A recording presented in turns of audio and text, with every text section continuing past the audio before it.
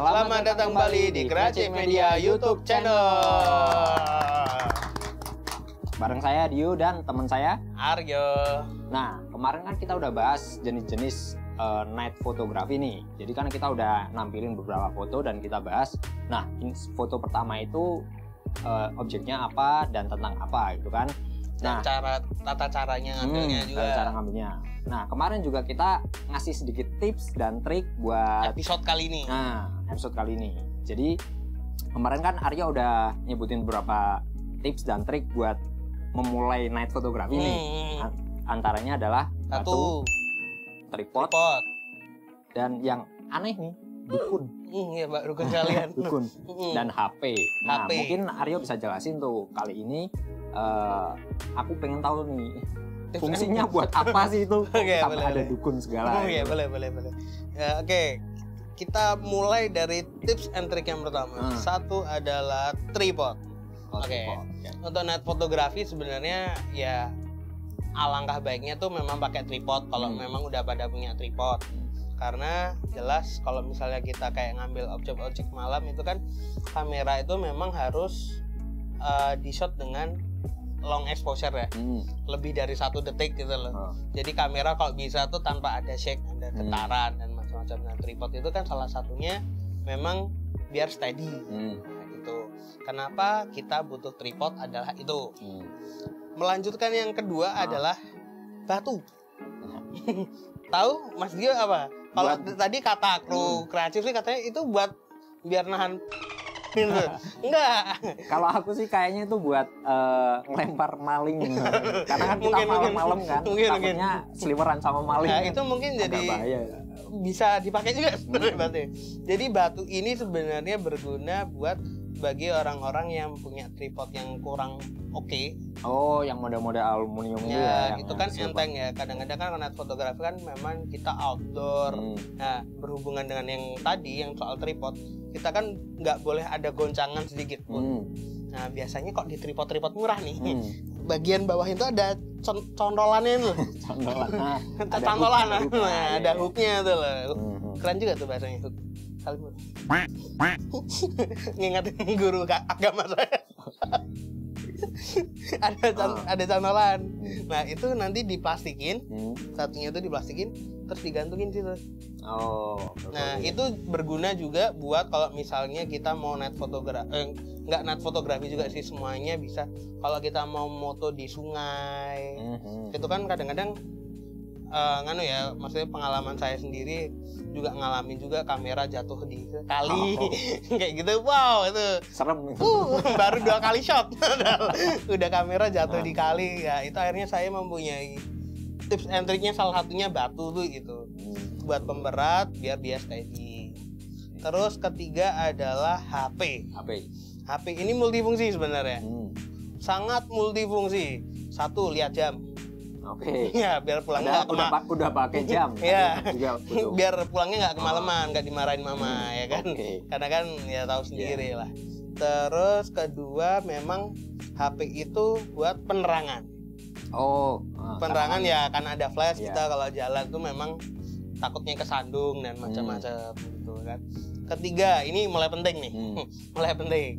Ketiga adalah flash HP itu itu semacam kayak life hack buat fotografer sebenarnya hmm. di foto-foto tertentu misalnya night fotografer misalnya night fotografi gitu kita mau moto yang ada landscape-nya dan hmm. landscape-nya itu yang mau kita uh, terangin lah objeknya hmm. kadang-kadang kalau kita foto aja cuma cuma apa namanya kayak gantungin cahaya malam hmm.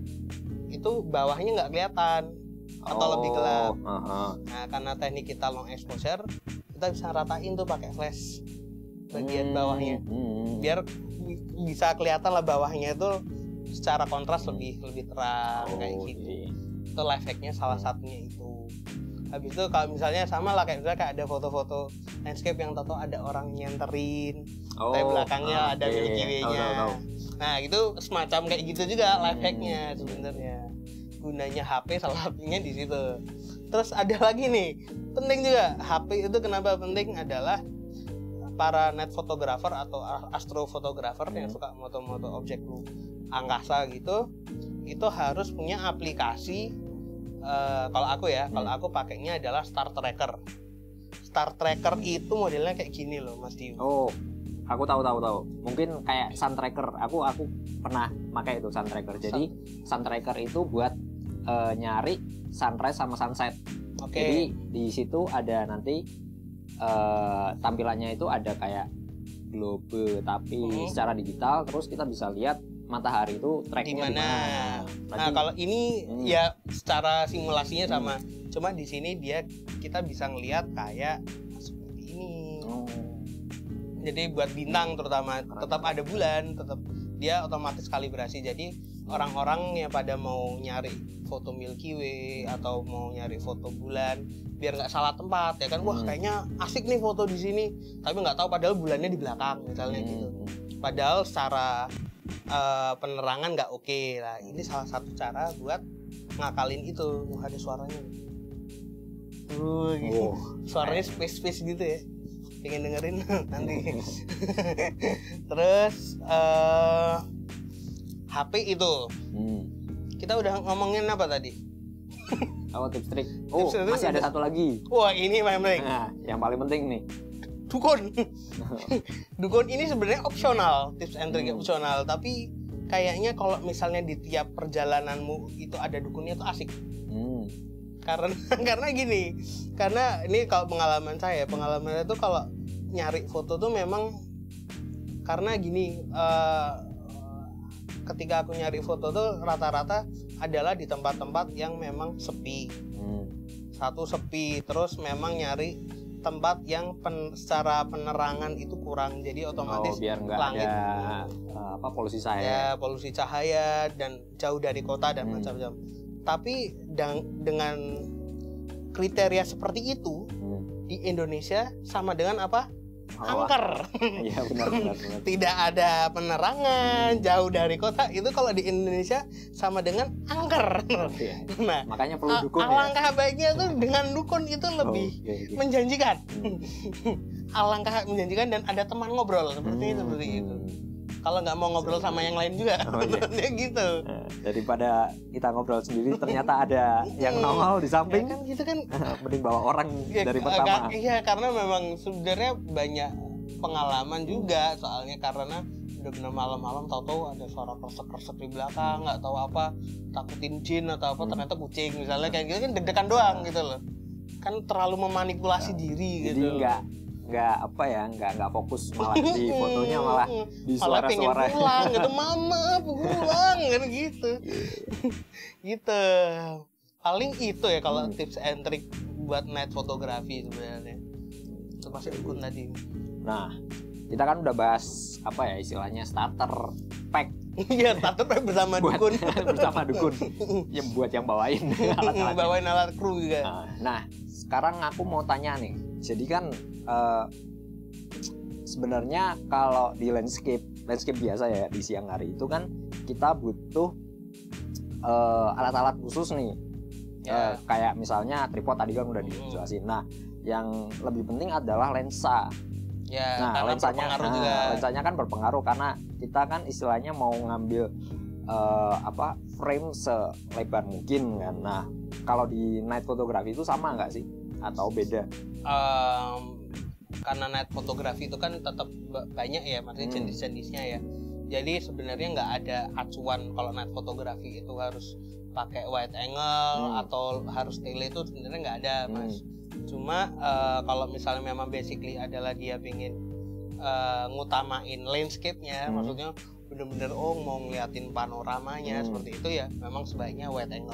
Hmm. Cuma kalau misalnya kayak foto-foto objek tertentu, misalnya astrofotografi yang kemarin Hmm. Andromeda itu Ya, nggak mungkin kalau misalnya Oh, wide ah. ya kan gitu. Dia mesti kan scope focal length-nya mesti lebih panjang, Hmm. lebih sempit kan Hmm. gitu. Paling gitu. Terus kayak cityscape, misalnya Hmm. cityscape mungkin ada yang butuh wide angle, Hmm. tapi ada juga yang kita lebih butuh yang scope-nya lebih sempit. gitu. Hmm. Lebih apa namanya fleksibel masalah alat sebenarnya. Bisa pakai drone juga ya kalau Hmm. Kalau apalagi sekarang kan pakai- memang bahkan udah ada genrenya khusus Hmm. malahan untuk ngambil dari drone itu kan ada genrenya khusus malah sekarang. biasanya kan kan uh, wide angle kan uh, macam-macam nih. Hmm. Mas Aryo biasanya pakai apa Jen lensanya? Yang Hmm, berapa mili? kalau aku seben- eh, kan gini eh, kalau aku sendiri sih pakai yang paling sering tak pakai ya. Hmm. paling tak pakai itu adalah wide angle sama tele. Hmm. dua itu yang paling sering. Walaupun misalnya aku punya eh, fix sama telefoto cuma yang paling sering tak pakai memang wide sama telenya. Karena ya kebutuhan sih kebutuhannya memang aku lebih banyak pakai itu pakai dua itu.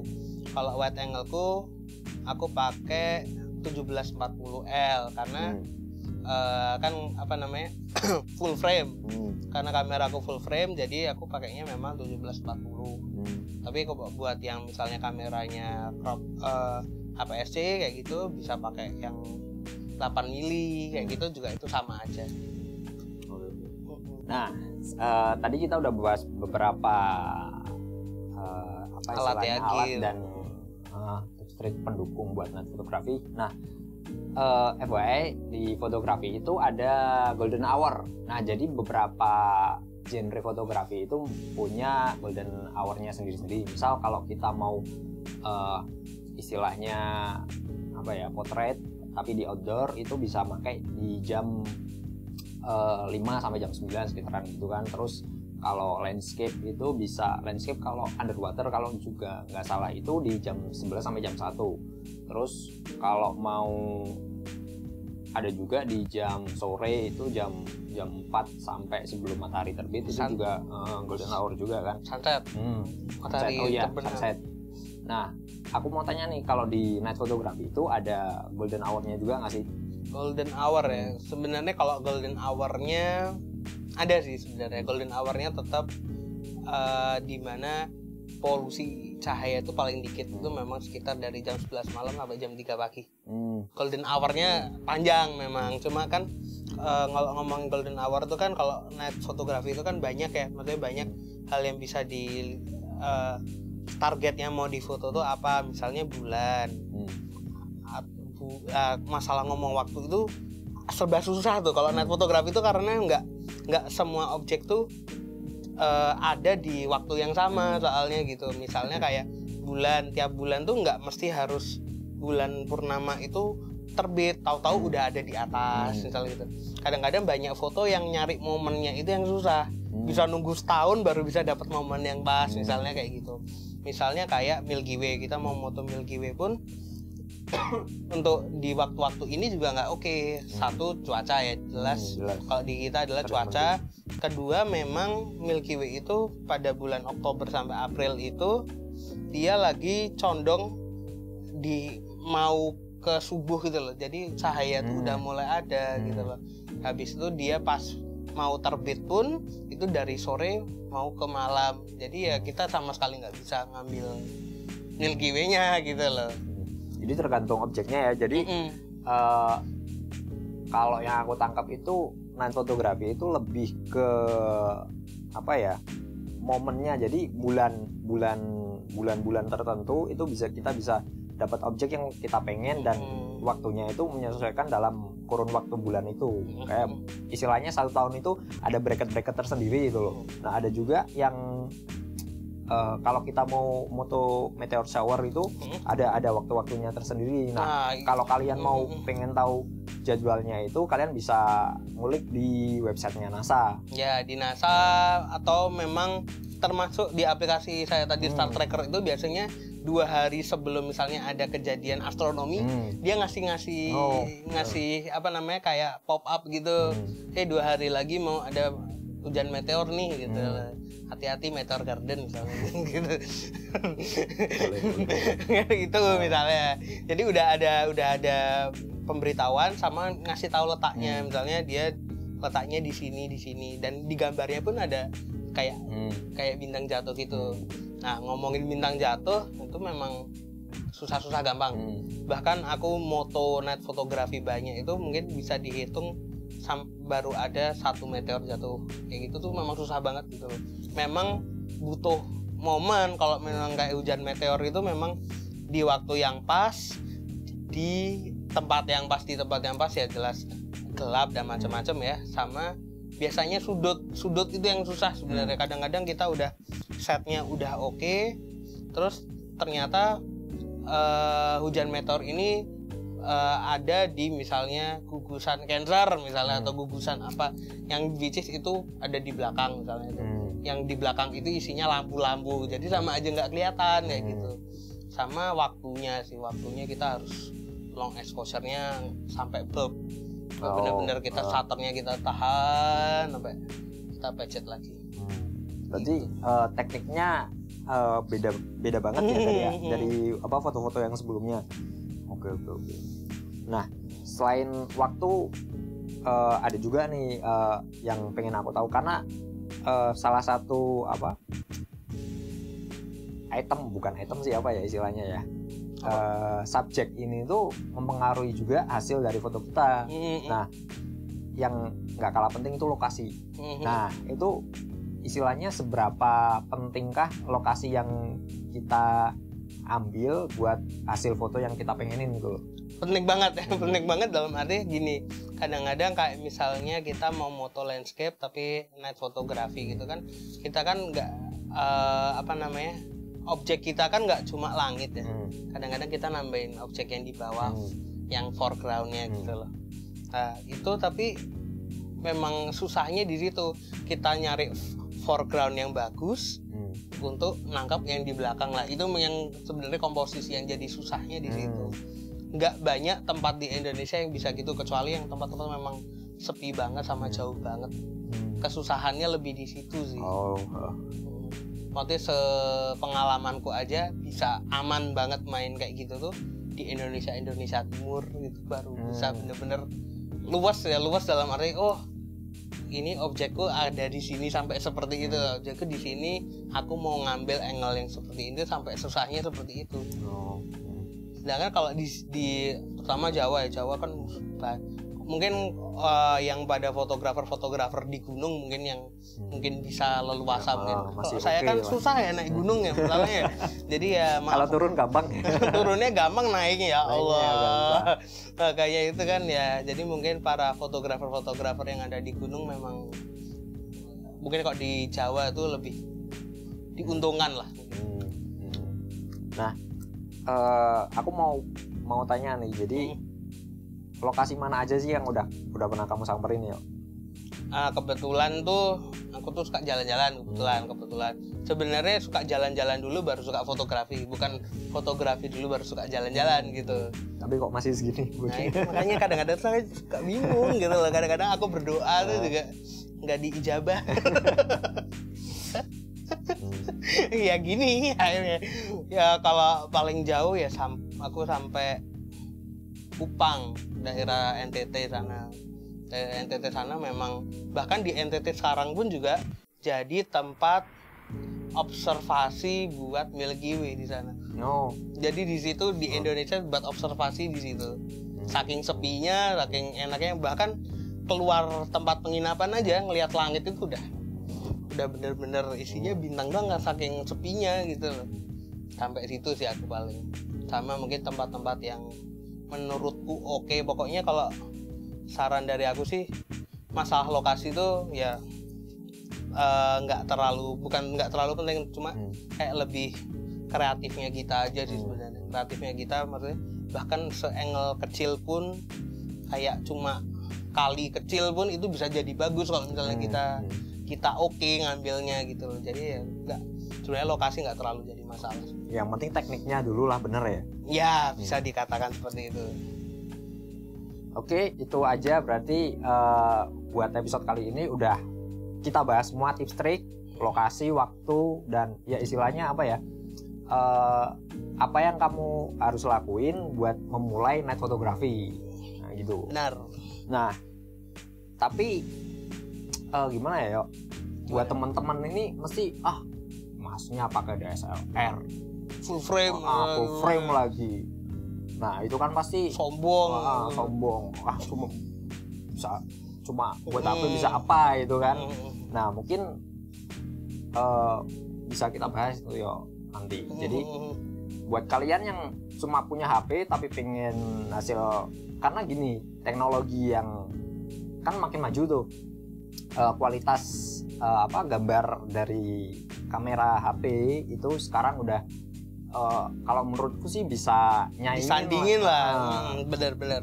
Apalagi bah, uh, bah, bahkan uh, hasil dari smartphone itu ada yang lebih bagus daripada kamera DSLR, mungkin. Uh, jadi ya yang penting tekniknya dulu bener. Nah karena teknologi udah maju banget. Nah buat kalian yang pengen tahu gimana caranya buat uh, ngambil uh, apa istilahnya gambar yang kalian pengen tapi dengan HP bisa tunggu video berikutnya.